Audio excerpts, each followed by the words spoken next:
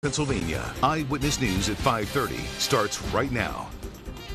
Good evening. Thank you for joining us. I'm Candace Kelly. And I'm Andy Mehalshick. Nick Toma has this night off. Do you remember the craze of Cabbage Patch Kid dolls in the 1980s? Well, part of that madness took place right here in Wilkes-Barre. And Candace, now there's a new documentary featuring the craze.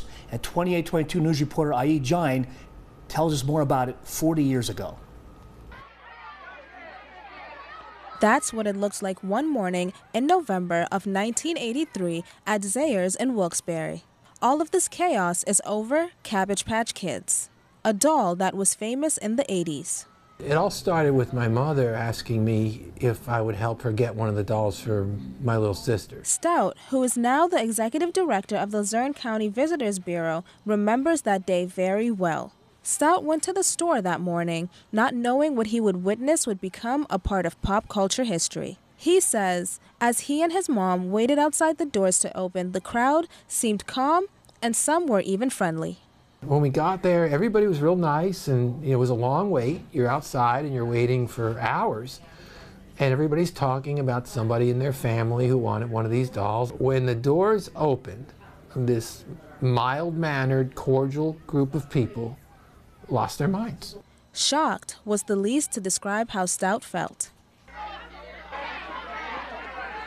He starts trying to fend people off with a baseball bat, and he just starts throwing these dolls out over the crowd.